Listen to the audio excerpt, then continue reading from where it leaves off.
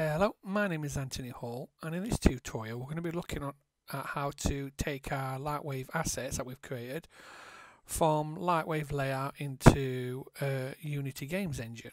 So I've got this uh, spaceship scene with a little deck and some containers that I created in previous tutorials. So what we need to do is get it into uh, Unity. So I've opened Unity up and what it does, it comes up with your projects here. And I'm going to click New I want to use do a 3D project. I'll just call it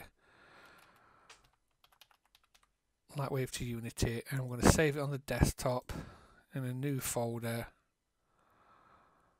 Uh, let's just call it Lightwave Unity 2 because I've already got a 1 like so. Select it, press create and now what will happen is uh, you'll create an Unity will create a new folder on the desktop with all the files that you need inside that kind of contents directory. So here we have uh, Unity open. So just a quick brief overview. Uh, so we've got our kind of sample scene here, which is this. So this is our scene. Let me just right mouse click and add a basic 3D object. So I've got a 3D object and at the top here you've got some little tools. First one, the hand tool, that's to drag the whole scene side to side, up and down and so on. If you've got a middle mouse button, you can zoom in and out, like so. You've got the move, like so. If you're on, hold control on your keyboard, uh, sorry, hold uh, alt on your keyboard, that can rotate around the area uh, when you uh, left mouse click. You've got the rotate, so you've got the handles to rotate, the little arms here, or you can free rotate by clicking the side the box. Next one is the scale, so you can scale from the middle, or you can grab these points and play around with the rectangle, make it to your different shapes. Uh, the next one is your Rect tool, so you can actually select the points to move around and play around with the shape and then you've got this tool here which is a combination of your movie rotate uh, and your scale all in all in one look. So it's a bit like your transform tool in in uh, Lightwave Modeler if you've ever used that. Okay? So simple as that really and then you can edit your tools and add more and stuff. On top of this when you click on something you get this inspector coming up. So as I click on the light and the camera you get the changes to the settings here at the bottom here, you've got your assets. So currently what I've got is a scene and the file that for the scene.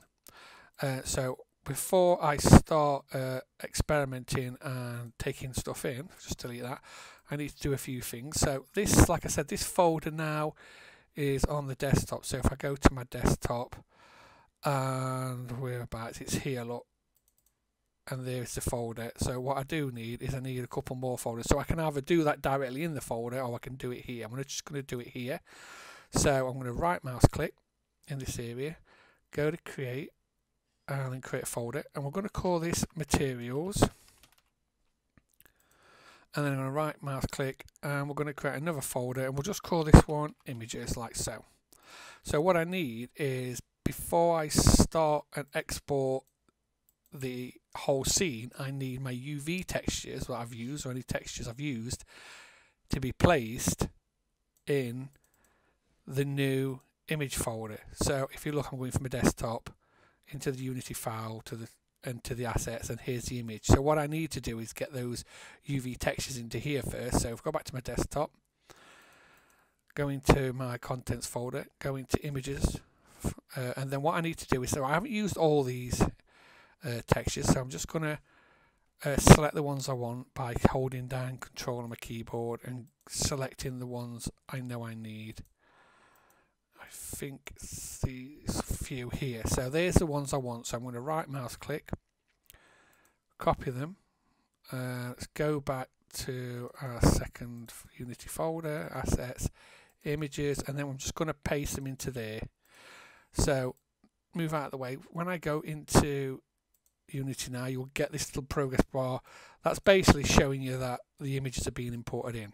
Ready. So, next bit. all I need to do is export this. So when I actually made this, I was making it to use directly in Lightwave.